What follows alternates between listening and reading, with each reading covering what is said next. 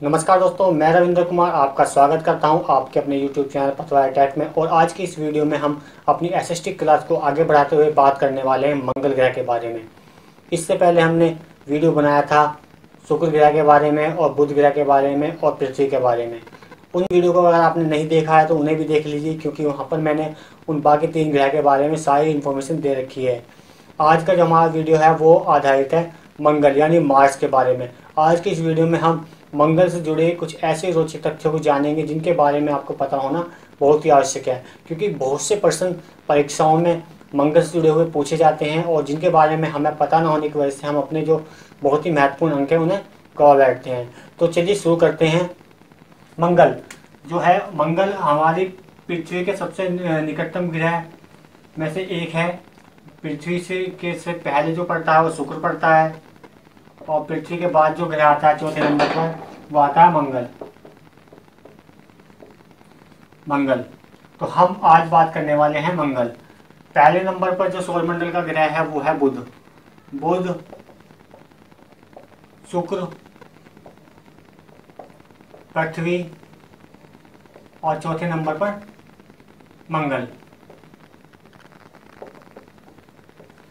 इन तीन ग्रहों के बारे में मैंने पहले से ही वीडियो बना रखा है। आप उन वीडियोस को देख लीजिए, क्योंकि मैंने इन, उस वीडियो, उनमें इन तीनों ग्रहों से से संबंधित बहुत से क्वेश्चन के बारे में डिस्कस किया है और सारी जानकारी वहाँ पर दी है। तो हम मंगल की बात कर रहे थे। मंगल।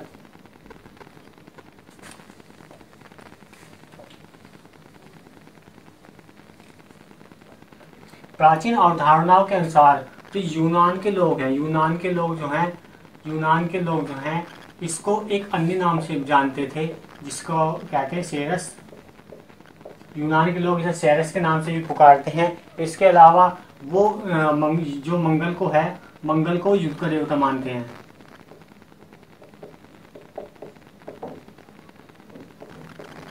ये तो थी प्राचीन अवधारणाओं की बात। लेकिन अगर साइंस की दृष्टि से देखा जाए तो मंगल केवल एक ग्रह है, और जैसा पृथ्वी ग्रह है, वैसे ही मंगल है। और साइंस के हिसाब से यहाँ पर बहुत सी रोचक घटनाएँ होती हैं और इसके बारे में कुछ रोचक बातें भी हैं। हम केवल उन्हीं बातों के बारे में डिस्कस करेंगे, प्राचीन अवधारणाओं के बारे में हम यहाँ पर बात नहीं करेंगे। मंगल। अगर सूर्य सूर्य से दूरी के क्रम में देखा जाए, सूर्य से अगर दूरी क्रम में देखा जाए तो मंगल ग्रह जो है, सूर्य और मंगल के बीच का जो डिस्टेंस है, वो है 22 करोड़ 79 लाख किलोमीटर। ये इसका डिस्टेंस है, यानी कि सूर्य से मंगल की जो दूरी है, वो है 22 करोड़ उन्होंने seventy nine lakh lakh kilometre. और ये सौरमंडल का, और ये सौरमंडल का सातवां सबसे बड़ा ग्रह है, सातवां सबसे बड़ा ग्रह है, सातवां सबसे बड़ा ग्रह है।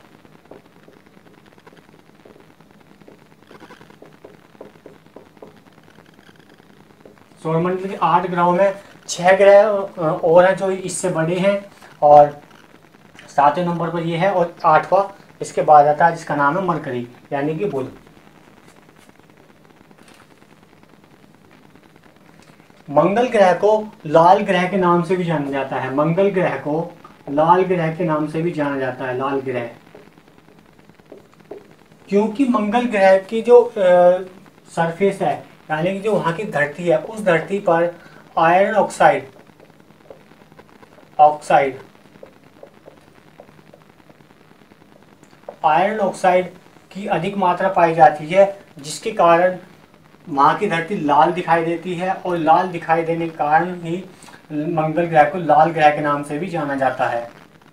इसके साथ साथ मंगल ग्रह पर भी जैसे धरती पर ऋतु परिवर्तन होते हैं, वैसे ही मंगल ग्रह पर भी ऋतु परिवर्तन होता है। ऋतुएँ होती हैं यहाँ पर भी। यानी हमेशा एक जैसा मौसम मौसम नहीं रहता है, मौसम बदलता रहता है। यहाँ पर जैसे अर्थ पर मौसम बदलता है, यहाँ पर भी ऋतु होती हैं, सर्दी, गर्मी, बरसात, इस तरह की ऋतु होती है। ऐसे ही मंगल ग्रह पर भी ऋतु परिवर्तन होता है। और मंगल ग्रह जो है, वो सूर्य की परिक्रमा जो करता है, वो करता है अंडाकार पथ पर, अंडाकार पथ पर। और मंगल ग्रह सूर्य की एक परिक्रमा करने में छह दिन का समय लेता है। छह दिन का समय लेता है। अर्थात मंगल का एक दिन जो सॉरी मंगल का एक साल जो होता है, मंगल का एक वर्ष जो होता है, एक वर्ष एक वर्ष जो होता है, वो छः सौ सतासी दिन का होता है। छः सौ सतासी दिन का होता है। और यहाँ का जो एक दिन है, एक दिन एक दिन की बात की जाए तो एक दिन यहाँ पर 24 घंटे से कुछ ज़्यादा होता है। 24 घंटे से कुछ ज़्यादा होता है। कुछ ज़्यादा होता है। यानी कि जैसे पृथ्वी पर एक दिन 24 घंटे का होता है, वैसे मंगल ग्रह पर एक दिन 24 घंटे से थोड़ा सा ज़्यादा टाइम का होता है। इसके अलावा मंगल ग्रह के भी पृथ्वी की तरह उपग्रह हैं, जैसे पृथ्वी का उपग्रह चाँद है, वैसे ही मंगल ग्रह के भी उपग्रह हैं, और मंगल के पास दो उपग्रह हैं, जिनमें से एक का नाम है फोबस और दूसरे का नाम है डिमोस। मंगल के दो उपग्रह हैं, जो इसके चार तो चक्कर लगाते रहते हैं। एक का नाम है फोबस फोबस, और दूसरे का नाम है डिमोस। फोबस और डिमोस दो उपग्रह मंगल के हैं। फोबस और डिमोस दो उपग्रह मंगल के हैं। फोबस, अगर फोबस की बात की जाए तो फोबस एक ऐसा उपग्रह है जो पूरे सौर मंडल में, पूरे सौर मंडल में अपने उपग्रह के सबसे निकटतम है। यानी कि अगर फोबस और मंगल ग्रह के डिस्टेंस की बात की जाए तो ये डिस्टेंस सबसे कम है। यानी पूरे सौरमंडल में जितने भी ग्रह हैं और उनके जो उपग्रह हैं उन ग्रहों और उपग्रहों के बीच का जो डिस्टेंस है, वो सबसे कम इसी ग्रह का है। और अगर डिस्टेंस की बात की जाए तो ये मात्र छः हज़ार किलोमीटर ही है। इसके अलावा जो फोबस का व्यास है, जो फोबस है, फोबस का जो व्यास है, फोबस का व्यास जो है, वो व्यास कितना है? वो बहुत कम है, बारह पॉइंट छः किलोमीटर मात्र इस उपग्रह का व्यास है। और डिमोस का जो व्यास है, डिमोस का जो व्यास है, वो बाईस पॉइंट दो किलोमीटर है। यानी कि जो मंगल के जो दोनों उपग्रह हैं, अगर इन दोनों उपग्रह की बात की जाए तो ये साइज़ में ज़्यादा बड़े नहीं हैं छोटे छोटे उपग्रह हैं। एक का जो व्यास है वो बारह पॉइंट छः किलोमीटर है और दूसरे का व्यास जो डीमोस का व्यास है वो बाईस पॉइंट दो किलोमीटर है। और फोबस एक ऐसा उपग्रह है जो अपने ग्रह ग्रह के सबसे पास है। और ये इस इस उपग्रह की एक खास बात और है कि ये जो उपग्रह है, ये उपग्रह हर सौ साल में, हर सौ साल में, प्रत्येक सौ वर्ष में, प्रत्येक सौ वर्ष में मंगल ग्रह के 1.8 मीटर 1.8 मीटर पास आ जाता है।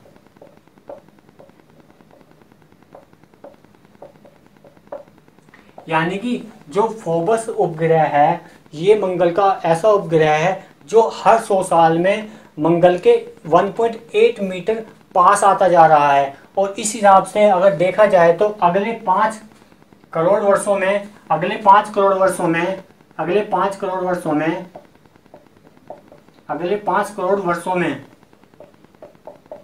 ये ग्रह, ये वाला उपग्रह मंगल के पास आ जाएगा और इससे टकरा जाएगा। यानी अगले पाँच करोड़ वर्षों में फोबस जो है, क्या होगा? मंगल के पास आएगा और मंगल से टकरा जाएगा और जिसके कारण या तो ये टूट कर मंगल के चारों ओर चक्कर लगाने लगेगा या फिर ये टकरा कर इससे दूर चला जाएगा। कुछ भी हो सकता है इसकी घटना, ये तो पक्का कह नहीं, कहा नहीं जा सकता कि ये क्या होगा।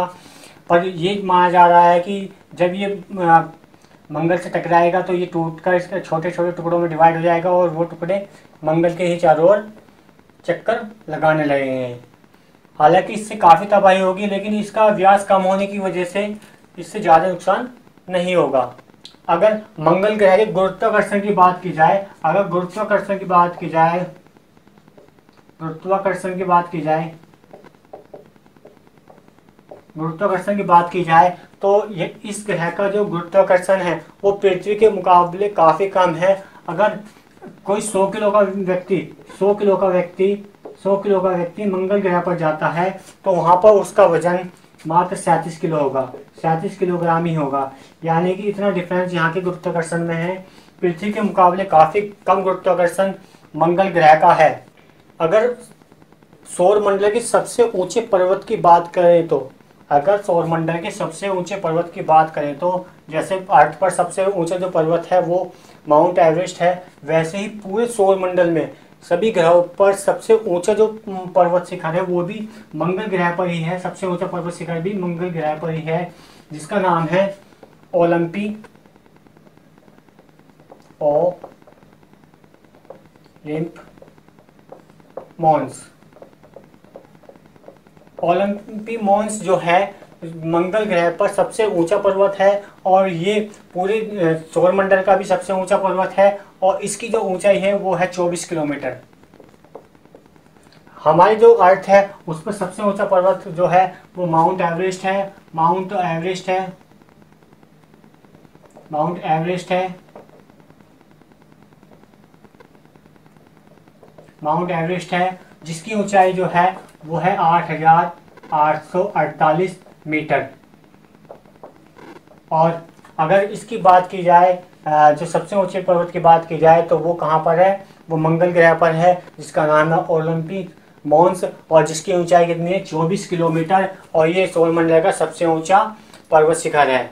मंगल ग्रह का जो औसतन तापमान है, मंगल ग्रह का औसतन तापमान जो है, मंगल मंगल ग्रह का का जो औसतन तापमान है औसत तापमान है। तापमान वो है पचपन डिग्री सेल्सियस। यानी कि यहाँ का टेम्परेचर पचपन डिग्री सेल्सियस औसत होता है। इससे ज़्यादा भी होता है और इससे कम भी होता है। अगर डिफरेंस की बात की जाए तो यहाँ पर तापमान में काफ़ी डिफरेंस पाया जाता है। जो डिफरेंस 133 डिग्री तक पहुँच जाता है। 133 डिग्री तक पहुँच जाता है। अगर ये ये मैक्सिमम डिग्री सेल्सियस में है और अगर मिनिमम की बात की जाए तो 27 डिग्री सेल्सियस, यानी कि इसका डिफरेंस 27 डिग्री सेल्सियस से लेकर 133 डिग्री तक पहुँच जाता है। और अगर औसत तापमान की बात की जाए तो वो है इसका 55 डिग्री सेल्सियस।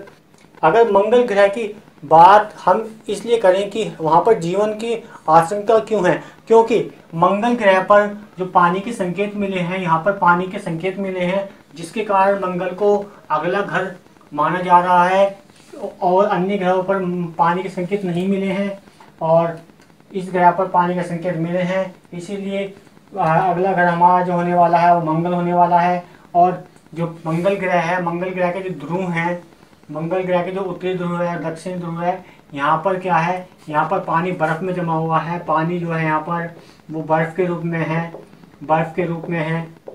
इसके अलावा इसके साथ साथ साथ यहाँ पर ठोस कार्बन डाइऑक्साइड भी है, ठोस कार्बन डाइऑक्साइड भी है, जो बर्फ़ के रूप में है CO2 ये यहाँ पर मिली है पानी और पानी और कार्बन डाइऑक्साइड ये यहाँ पर बर्फ़ के रूप में है उत्तरी ध्रुव और दक्षिणी ध्रुव पर। गर्मियों में क्या होता है? जो ये सी है तो पिघल जाती है और उसके बाद बर्फ़ रह जाती है यहाँ पानी की। उसके बाद फिर सर्दियों में ये वहाँ पर फिर सी जम जाती है, इस तरह की यहाँ पर क्रिया चलती जाती है। इसके साथ साथ यहाँ पर इस प्रकार की संरचनाएँ भी मिली है, जिनसे पानी के बहने के संकेत मिलते हैं। यानी कि जैसे नदी और नदी टाइप की संरचनाएँ होती हैं, जिनमें पानी बहता है और पानी के बहन से कुछ संरचनाएँ धरती पर बन जाती हैं। उस टाइप की संरचनाएँ भी यहाँ पर मिली हैं, जिससे संकेत मिलता है कि यहाँ पर किसी समय पानी हुआ करता था। तो ये थी दोस्तों मंगल ग्रह के बारे में कुछ रोचक जानकारी। अगर आपको हमारा ये वीडियो पसंद आया हो तो इसे लाइक करना ना भूलें और आने वाले बाकी सभी वीडियोस को सबसे पहले देखने के लिए हमारे चैनल को सब्सक्राइब करें और बेल वाले आइकन पर ज़रूर क्लिक करें। इससे नेक्स्ट वाले वीडियो में हम इससे अगला ग्रह जो है, यानी कि बृहस्पति, उसके बारे में बताएँगे। इससे पहले मैंने शुक्र, बुध और पृथ्वी के बारे में वीडियो बना रखी है। अगर आपने वो वीडियो नहीं देखी है तो उनको भी देख लीजिए, क्योंकि वहाँ पर भी मैंने इन ग्रहों के बारे में सारे जितने क्वेश्चन बन सकते हैं, वो डिस्कस किए हैं। इसके अलावा यहाँ पर भी मैंने मैं मंगल के बारे में जो मैक्सिमम क्वेश्चन या इसके बाद में बारे में जो बातें थी, वो डिस्कस की हैं और आपको बताई हैं। अगर आपको हमारे वीडियो पसंद आया तो लाइक ज़रूर करें और शेयर करें। धन्यवाद दोस्तों।